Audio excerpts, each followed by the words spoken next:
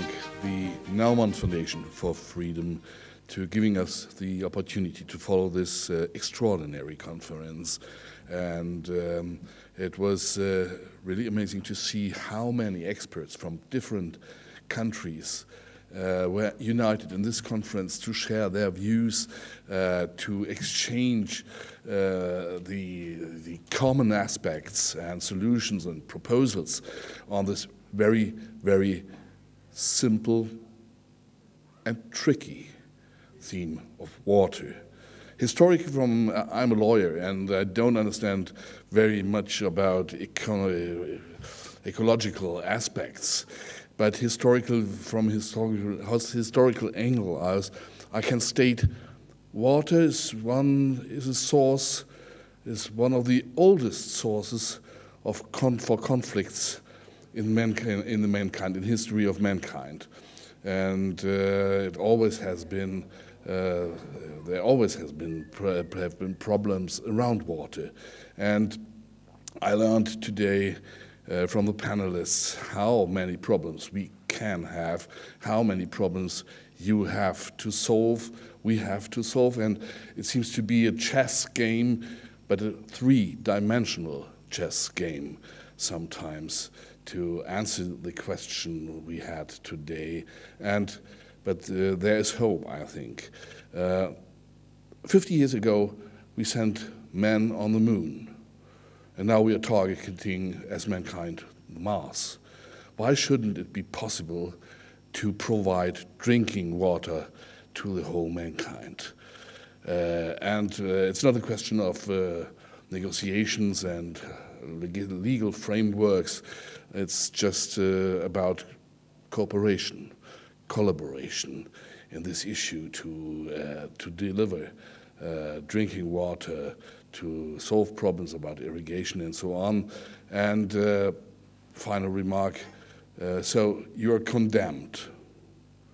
You're condemned for cooperation because water is not following ideological lines, justifications, or views. What is always uh, following uh, its trenches, its valleys to the oceans, and there uh, has it has water an impact. And uh, perhaps we have seen today the starting point of a new platform, especially for South Asia, to uh, get it on a common base, uh, to find solution for all these very important questions about water. So thank you very much for being here, and I think it was a great opportunity to start this very, very important discussion. Thank you. Uh, on behalf of Samriddhi Foundation, uh, one of today's co-organizers, uh, thank you very much for attending and for the discussion. Personally, for me, it's highly enlightening because I'm an economist by profession. Sometimes we are like horse with blinkers. We really don't think about other issues, such as very, very important issues such as climate change and sustainable development. Um, I think this is yet another successful partnership with FNF uh, for Samriddhi because this is a series of conferences where uh, I really would like to thank Dr. Klein for including us in the process because as an economic policy think tank, we, send, we tend to focus only on certain types of issues, whereas Dr. Klein has introduced us. Before this, it was the uh, Pride Conference, and now we are talking about uh, ecology and environment in general. Uh, so I think for us as a foundation, it was a very big learning opportunity, and we'd really like to thank you for giving us that opportunity. Um, thank you so much for participants because without you the conference wouldn't be a success uh, so i really don't want to stress further on how much the topic you know uh, we've already discussed a lot of salient points i just want to take uh, a few takeaways for me personally from hearing all the discussion as no expert on water resource management whatsoever. Um, uh, first, I think uh, the need for regional approach and a basin approach uh, to find acceptable solutions on a multi multitude of cross-cutting issues on water management. That came as a highlight for me personally. Uh, second is the understanding of costs and benefits. Again, as an economist, I tend to think that way. Uh, it's the understanding of costs and benefits across borders uh, for river-induced problems, uh, for river-induced opportunities. We really need to capitalize on those. Understanding not only water, but its relation to livelihood, to ecology and other things uh, closely associated. I think that's another takeaway, very key takeaway for me. I think there were a lot of solutions that were also discussed, and that means that solutions are available and can only be found through further dialogue. Be it further dialogue between civil society organizations, between experts, but most importantly, further dialogue at the cross-boundary level uh, to community level. We really need to engage a lot more community level participation is another takeaway for me. Uh, all the discussion around success or failure today, at least for me personally, revolved around community participation. So I think that was one of the key takeaways. Uh, if you look at the failure of projects versus which projects were successful, uh, the analysis that you provided as experts, for me, community participation was a highlight. Along with that was political will and listening to people. Um, so there's a very strong incentive, I think, again, for civil society organizations and experts uh, to continue advocacy, engage at the grassroots level, uh, especially stakeholders whose lives are going to be directly affected by the big projects we discuss as well as the policies we discuss. Um, and I think from the organizers' side, I think I would like to apologize because I don't see a lot many uh, stakeholders who, at, from the community level that are participating in the conference today. Um, so I think that is from our side a little bit uh, something we need to engage further, uh, at least at this level as well. And finally, uh, a key takeaway again from a legal perspective was uh, the previous uh, presenter said flexible government, governance structures, and that really struck me because it's all about climate adaptation. We have to adapt. This is the climate we're going to live in. Uh, so how do we go about adaptation? For me, the key takeaway was, uh, you know, thinking about flexible governance structures that are going to actually help us.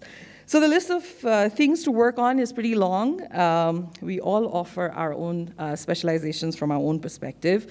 I think FNF's role as a convener, bringing together issues that are pertinent to South Asia has been really, really critical. So we're very grateful for FNF playing that role and bringing us together.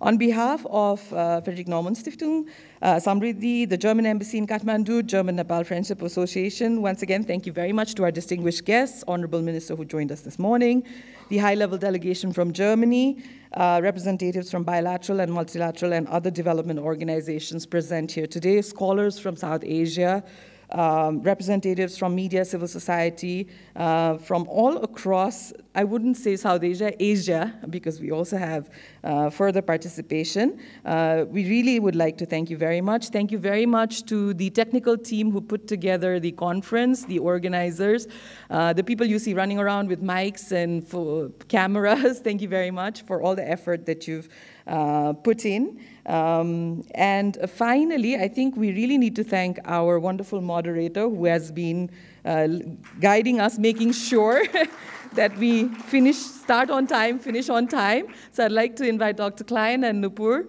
to uh, special give thanks to Sarita. Um,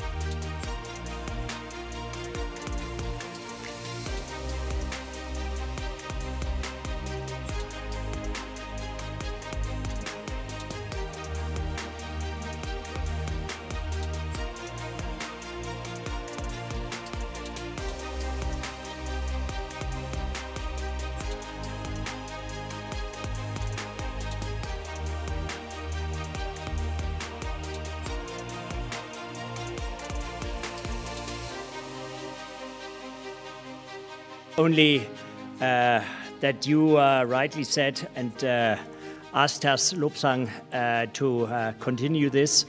Uh, I promise we will. Thank you very much to all of you. Seeing you tomorrow.